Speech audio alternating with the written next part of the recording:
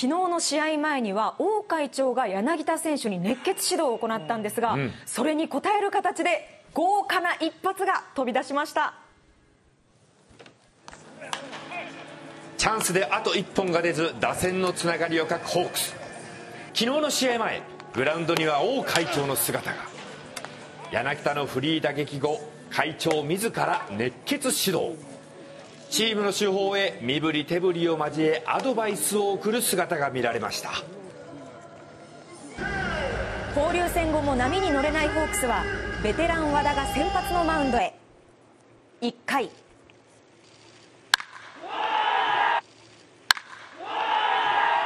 きなりの先頭打者ホームラン。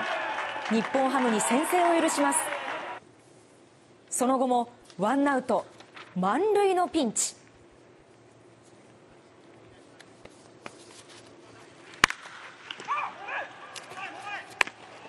ここをなんとか踏ん張り最小失点で切り抜けます。和田は毎回ランナーを背負うも粘りのピッチングで追加点を与えず味方の援護を待ちます。5回ここまで1安打に抑えられていたホークスは打線奮起へベンチ前でエンジンを組みます。するとこの回先頭バッターの柳田。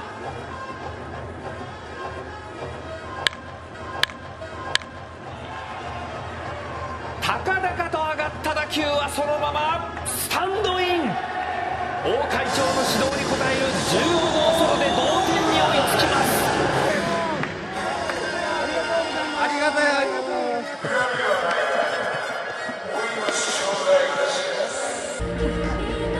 1対1で迎えた9回岩崎がマウンドへ。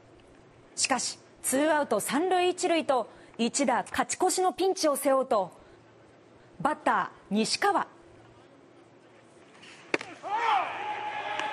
インコースへ渾身のストレート。三振を奪いピンチを脱します。サヨナラを狙う打線でしたが日本ハム投手陣にわずか2安打に抑え込まれたホークス。引き分けに終わりました。